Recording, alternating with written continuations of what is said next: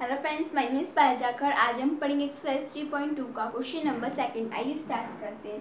सो देखिए question number second है हमारा on comparing the ratio A one upon A two B one upon B two C one upon C two find out whether the line representing the following pairs of linear equation intersecting at a point और parallel और coincident means आपको इसमें ये बताना है, जो ratio में a one a two A B means ये दिए गए हैं आपको ये।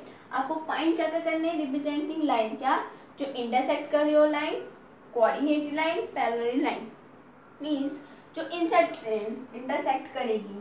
देखिए, इसमें हम समझते हैं, हमारे पास a one a two b one b two c one c two ये गिवन तो ये फाइव सेवन ये माइनस फोर अपॉन में सिक्स ये एट अपॉन में नाइन सो देखिए, ये तो कट हो नहीं सकते, ये एज इट इज़ रहेंगे, ये कट हो सकते हैं माइनस टू अपॉन में थ्री और देखिए, अब इसमें कोई भी क्या नहीं है इक्वल नहीं है मीन्स एक ही नंबर नहीं है. सो so, ये क्या होगा हमारा?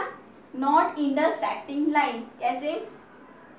जो लाइन मीन्स जो नंबर्स इक्वल नहीं होंगे, वो होंगे हमारे नॉट इंटरसेक्टिंग लाइन और जो इक्वल होंगे, सारे नंबर्स इक्वल होंगे, जैसे one upon two one upon two one upon two ये सारे नंबर्स इक्वल हैं। तो ये क्या होंगे? कॉन्सिडेंट वन अपॉन में two equal to one upon में two equal to one upon में टू ओके अगर इनमें से भी अगर एक नहीं होता तो ये होता हमारा पैरेलल लाइन ये इसके पैरेलल है और एक इसमें इक्वल है नहीं. जैसे कि फाइव अपॉन में टू ये भी इक्वल है फाइव अपॉन में टू ये भी इक्वल है. लेकिन ये इक्वल नहीं है वन अपॉन में टू तो ये क्या होगा हमारा? पैरेलल लाइन और जो एक दूसरे को इंटरसेक्ट करे वो होगी हमारी इंटरसेक्टिंग लाइन ओके और जो तीनों इक्वल होंगे, वो होंगे हमारे कॉन्सिडेंट लाइन तो देखिए, इसमें से कोई भी इक्वल नहीं है. तो ये क्या है हमारे इंटरसेक्टिंग लाइन तो हम लिख देंगे.